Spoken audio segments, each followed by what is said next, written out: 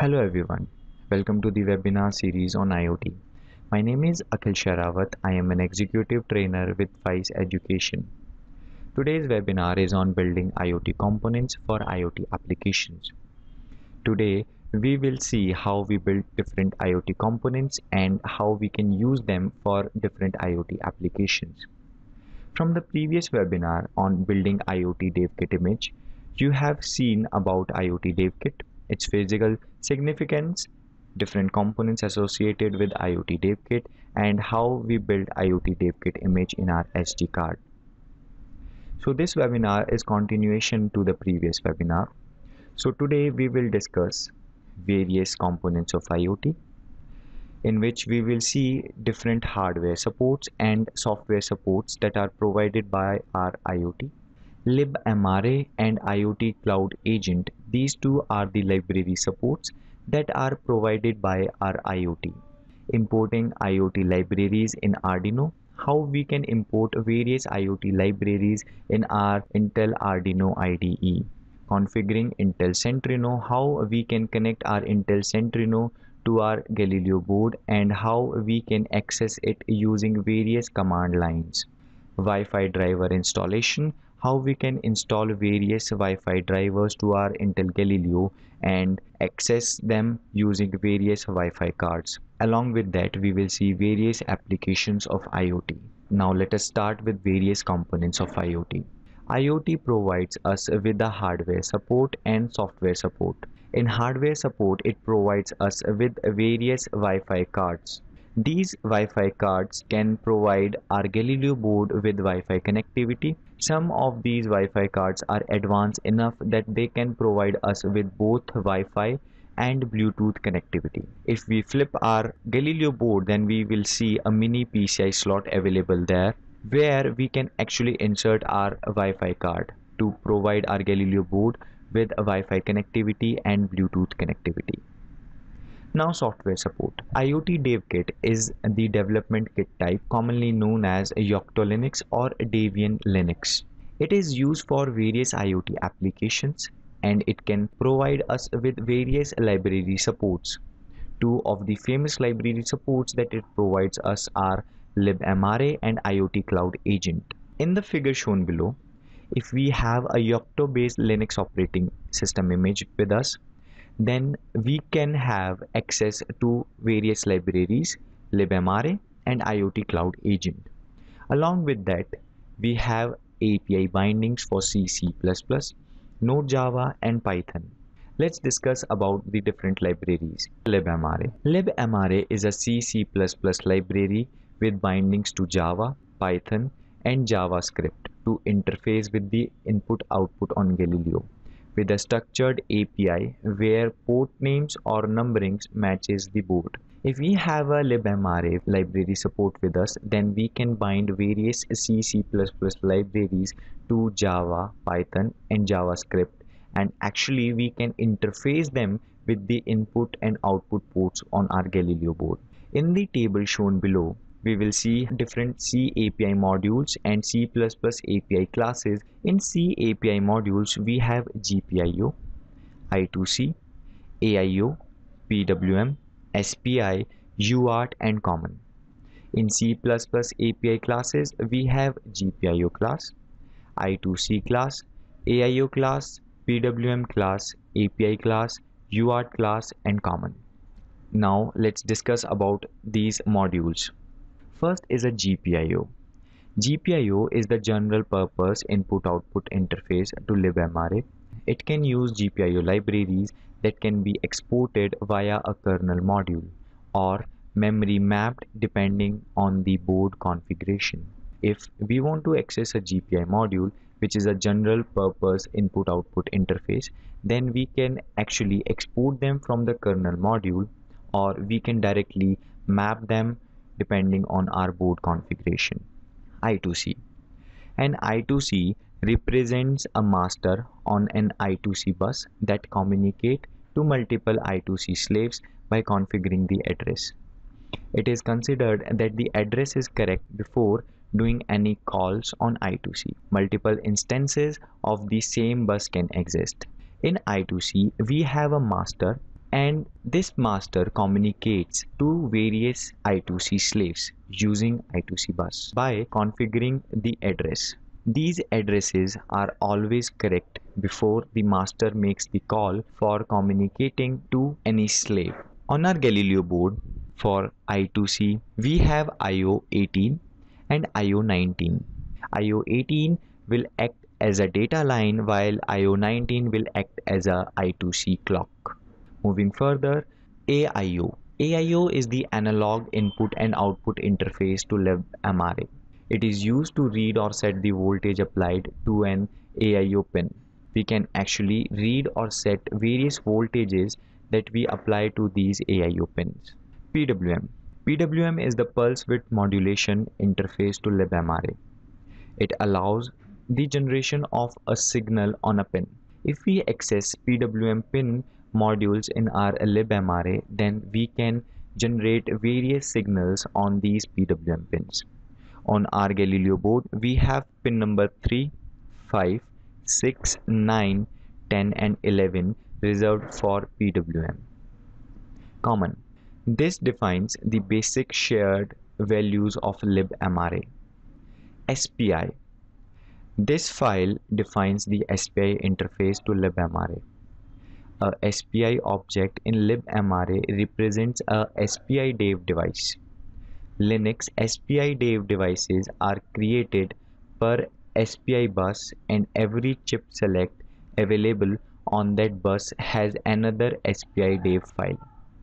If we want to access SPI module on our libmraa, then we have an SPI object that is provided by us by libmraa library which is known as spidev device. On our Galileo board, we have IO11, IO12 and IO13 which will act as master out slave in, master in slave out and SPI clock respectively. UART UART is the asynchronous receiver transmitter interface to libmraa. It allows the exposure of UART pins on board. Our libmraa provides us with various UART pins which are available on our board provide communication between different modules to our Galileo board. We have two UART on board, UART 0 and UART 1. IO0, IO1 are reserved for receiver and transmitter respectively for UART 0 while IO0 and IO3 are reserved for TX and RX respectively for UART 1. Moving on to second library that is IoT Cloud Agent.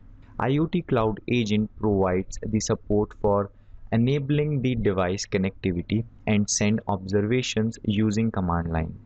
If we access IoT Cloud Agent then it provides us with various connectivities to our Galileo board and these connectivities can be observed using command lines. IoT Cloud Agent has IoT Kit Admin and IoT Kit Agent.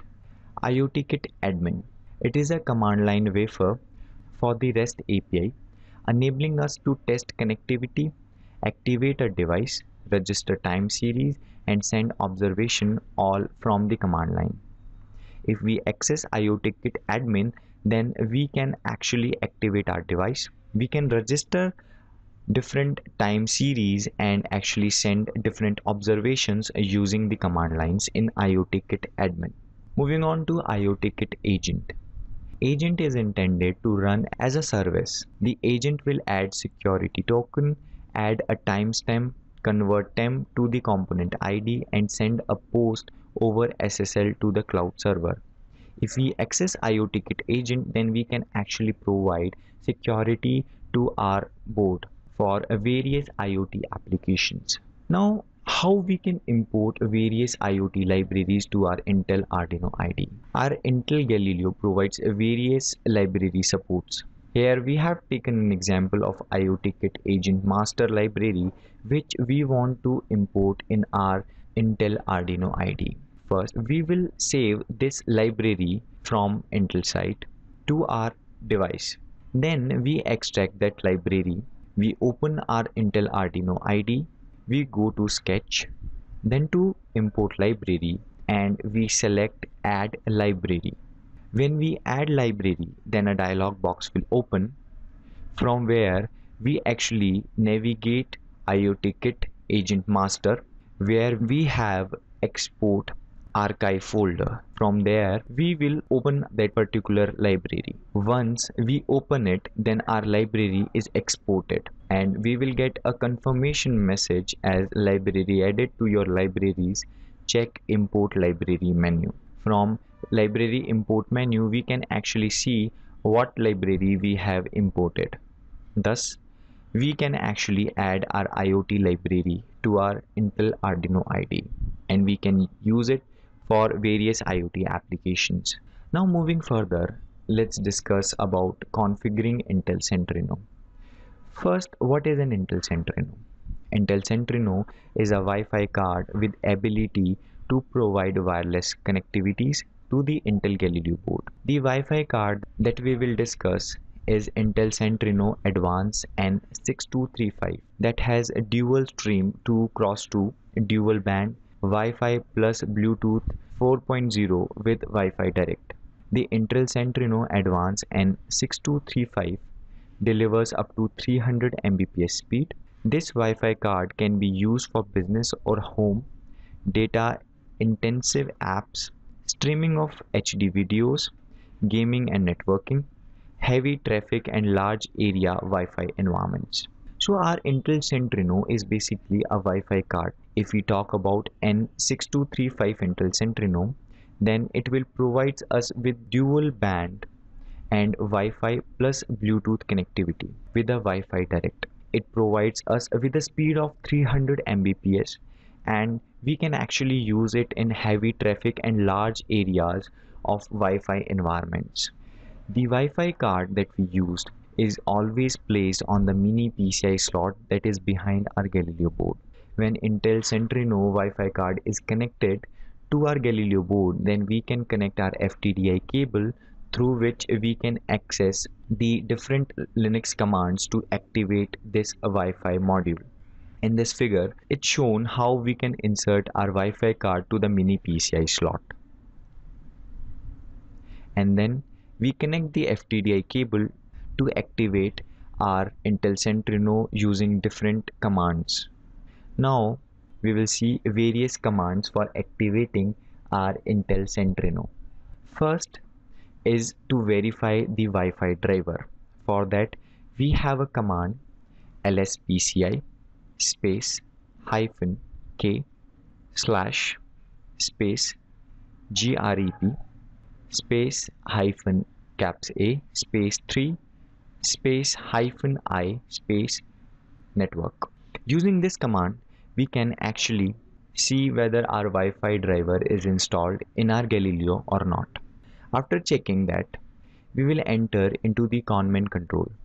In that, we will actually write various commands through which we can activate and connect our Intel Centrino to the Wi-Fi's available to that particular area. When we enter into the connman control, we need to enable our Wi-Fi. For that, we use command enable Wi-Fi. Then a message will come enabled Wi-Fi indicating that our Wi-Fi is enabled.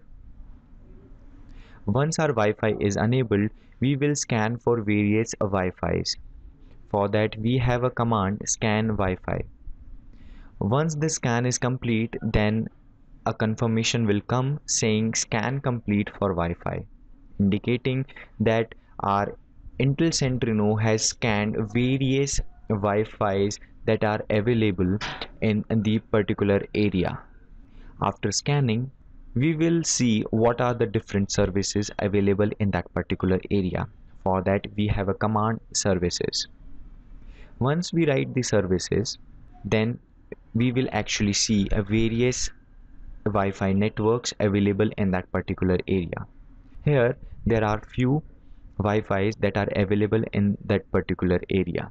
Now we want to connect our Intel Centrino to one of these uh, Wi-Fi's. For that, first we need to register our agent. We use the command agent on. Then a confirmation message will come saying our agent is registered.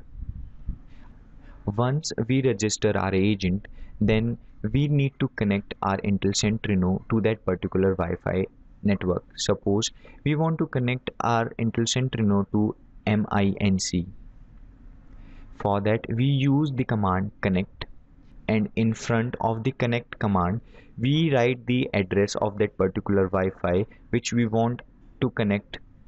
We select the address of that particular Wi-Fi and right click on our mouse then automatically it will come in front of our connect command. We press enter and wait for a while. Then it will show a passphrase. Passphrase is nothing but the Wi-Fi password of that particular Wi-Fi. In our case it is the password for MINC we enter the password and then we wait for a while until we'll see link become ready. The moment we will see link become ready then our Intel Centrino is connected to that particular Wi-Fi network.